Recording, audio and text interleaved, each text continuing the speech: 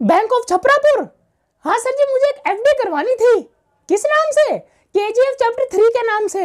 वो क्या है ना सर? इतनी बड़ी मूवी है। आज से ही एक एक रुपया जोड़ूँगा तभी तो टिकट खरीद पाऊँगा ना। आई, आई, साला गाली देता है।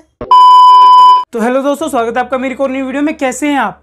नहीं भाई साहब, जो सोचा नहीं था वो हो गया। जैसे कि आप जानते हैं केजीएफ चैप्टर टू को एक साल हो चुका है और इस एक साल होने के उपलक्ष्य के मौके पर होमबेल फिल्म्स जो इस केजीएफ का प्रोडक्शन हाउस है, उन्होंने अपने यूट्यूब चैनल पर एक वीडियो अपलोड करी है। और भाई साहब, उस वीडियो के आखिरी के तीस सेकंड ने ऐसा तहलका मचाया है, ऐसा तहलका मचाया है कि खत्म। Bye bye tata good bye गया।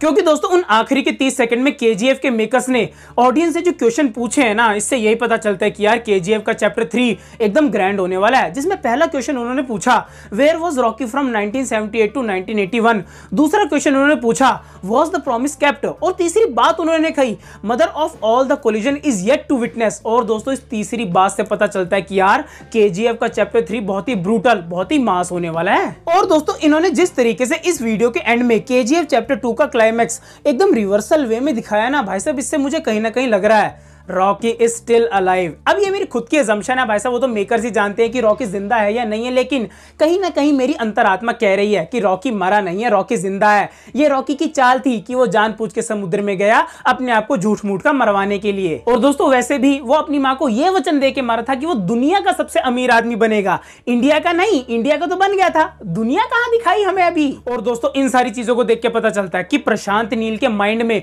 कोई बहुत ही बड़ा आइडिया है, बहुत ही बड़ा यूनिवर्स है। आप खुद ही देखो भाई साहब के के बाद सलार सलार के बाद बघीरा फिर जूनियर एनटीआर के साथ एक पिक्चर आ रही है। और कहीं ना कहीं मुझे लग रहा है कि भाई ये सारी फ्रेंचाइजीज आपस में लिंक्ड होगी। बाकी मूवीज़ का तो मैं नहीं कह सकता, लेकिन लोगों के अकॉर्डिंग भाई साहब 99 कंफर्म है कि सलार जो है वो के से लिंक होगी। अब क्या होगी या नहीं होगी वो तो सितंबर के महीने में पता चली जाएगा, लेकिन यार ये यूनिवर्स बहुत ही भयंकर होने वाला है। और दोस्तों, लोगों का तो ये तक कहना है कि भाई साहब सलार में जो प्रभास का करेक्टर है, वो रॉकी के फेवर में नहीं रॉकी के अगेंस्ट होगा। और दोस्तों, अगर ऐसा हो गया ना तो प्रभास और यश में जो फाइट होगी ना, देखने वाली होगी। भाई सब अच्छे अच्छे रिकॉर्ड टूट जाएँगे। तो दोस्तों ओवरऑल ये जो होमबेल फिल्म्स ने जो छुपी छुपी अनाउंसमेंट करी है ना, कि भूजो तो पहचाने, ढूंढो तो पहचाने, भाई साहब, मज़ा ही आ जाता है, एकदम दिल लग जाता है। तभी तो लोगों का अट्रैक्शन साउथ इंडस्ट्री की ओर बढ़ गया कि भाई साहब, ऐसे सस्पेंसिबल काम करते हैं वो लोग बहुत ज़्यादा। और दोस्तों, यही था मेरा छोटा सा ज्ञान पेलो वीडियो के के ऊपर। एंड आई होप आपको मेरा ये वीडियो पसंद आया होगा। तो अगर आपको मेरा वीडियो पसंद आया तो वीडियो को लाइक करें, चैनल को सब्सक्राइब करें, और जो बेल आइकन है, उसको ऑल पर रखें, क्योंकि जैसे मैं कोई बढ़िया वीडियो डालूं